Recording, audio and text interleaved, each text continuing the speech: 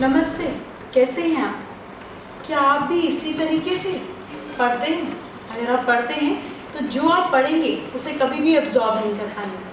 आपको पता है, आपके हाथ पर जो वीनस की लाइंस होती हैं, वो लेटी हुई होती हैं।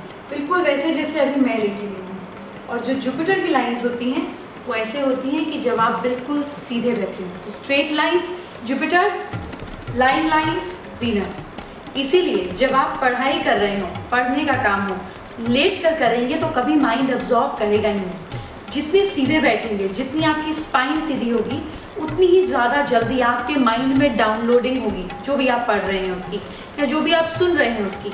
तो अगर मज़े की चीज़ है तो लेट के पढ़िए, और अगर याद करने की चीज़ है तो बैठ के पढ़िए। अपने बच्चों को ये टिप ज़रूर बताइएगा, और फिर उनके अंदर डिफरेंस देखिएगा।